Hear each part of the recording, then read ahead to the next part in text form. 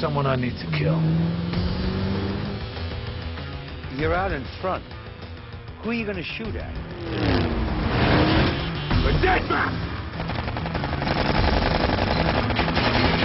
I made my first American movie, Mortal Kombat, and it was the number one movie. And on Monday, after the number one weekend, I went to go have lunch with Roger Corman. And uh, he said, Kid, it's great you've got a number one movie. What are you going to do next? And I said, well, Roger, what I really want to do is I want to remake one of your movies, Death Race 2000. And he said, that's great, kid. We'll make it your next movie. And in a typical Hollywood development story, 14 years later, we finally made the film. Was it always the prison idea, or did it go through different incarnations? No, it really, um, the movie developed. Um, there were different ideas. You know, it was more of a, to, it was a around the world race to start with. It was um, a more CG heavy movie to start with. It was a more futuristic movie. And as time went on and I became more and more disillusioned with, with CG, well, not disillusioned, but I, I've made my fair share of computer generated movies. And I just think audiences are becoming a little tired of them. And for me, the car movies I love are all from the 70s and the early 80s. You know, it's Road Warrior, Bullitt, French Connection, Sam Peckinpah's The Getaway, Walter Hill's The Driver. Movies that have real visceral thrill for an audience because you can see the car action is real. There's no CG in there. Um, and that's the kind of movie I wanted to make. And let me tell you, it's a much more difficult movie to make. You know, if we'd done this CG, much easier. We'd have made the movie faster, we'd have made it cheaper, wouldn't look anywhere near as good. Um, so, you know, to be able to pull off the car stunts we wanted to do, it really took a year of preparation before we shot a frame of film. This one was one of the uh, the hardest uh, physical uh, preps I've had to undergo. Yeah, I mean, there was a terrible regime that uh, started at 5 a.m. and uh, you know that was before every day's work, and it was a very restricted diet. I, you know, Paul wanted me to get very lean and chiseled and cut and sort of look like I spent most of my life in a prison, which uh, was uh, you know something that he intended on me looking like. The inside of that, have you had a close look inside? No, no. Oh my God, I mean, they've got the most tricked out cars you've ever seen. You know, this, and it's all like rec tech style. So it's, uh, you know, it's uh, harking back to like the Mad Max type vehicles. So um, yeah, we was we was excited every day to see these things slowly get put together piece by piece, and you know, we'd see glimpses of what uh, these miniguns can actually do, and you know, 3,000 rounds a minute. Have you ever seen one of those take a car to pieces? I've never really pictured you as evil incarnate, I guess.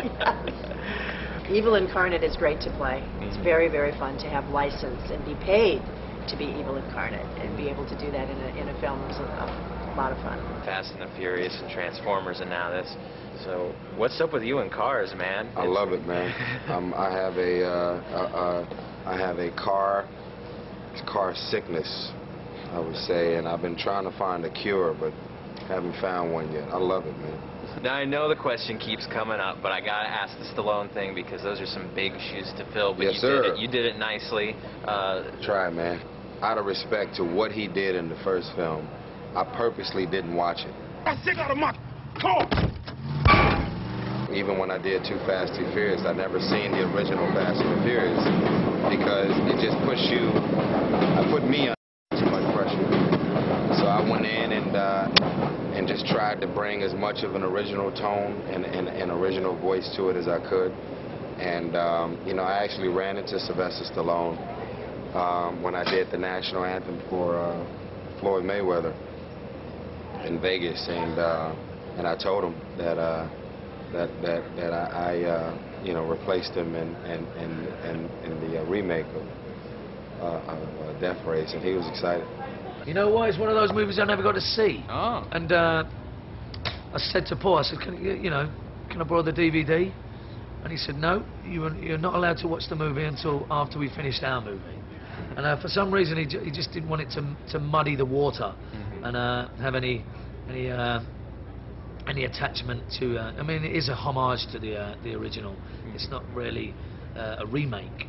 It's uh, it's ins- inspired by. So uh, he didn't. He just wanted uh, to keep my head clear and just treat it as a as a as a film that he wanted to make. I've seen a lot of the original film. I have not yet seen like the whole movie together, but I've seen a lot of the original film. And it's kind of fun. I mean, like, it's the points game. I play the points game. You know, I drive around and be like, 10 points. You know? Always. Yeah. It's actually made me a worse driver, I think, Death Race. Because now I'm driving, I'm like, I just want to do this, like, ram into someone. Why, why is car movies and things like that with guns and everything so much fun? Was because this is what we want to do while we're in traffic. Like, I Mhm. wish I had a machine gun half the time. Yeah, I mean, if, I think if, if DMV showed Death Race to, to Yeah. people, to, they would call them road rage. Yeah, you know? exactly. It's a fantasy they It'd be could just a little crazy, right? Yeah. it's crazy. There isn't a point system in this movie, but certainly a lot of people get run over. so, um, I mean, that, that's really the major difference. And I I saw this movie as, as the genesis of the Death Race. Mhm. It's, I was always fascinated with Roger's movie as to how Death Race had become the national sport in America. And clearly the president didn't just invent it. You know, Yeah. He must have kind of taken something that was existing and developed it. And, and I thought, well, what was that? How did it begin? And I wanted to tell a very realistic story as to how something like Death Race could end up happening in North America.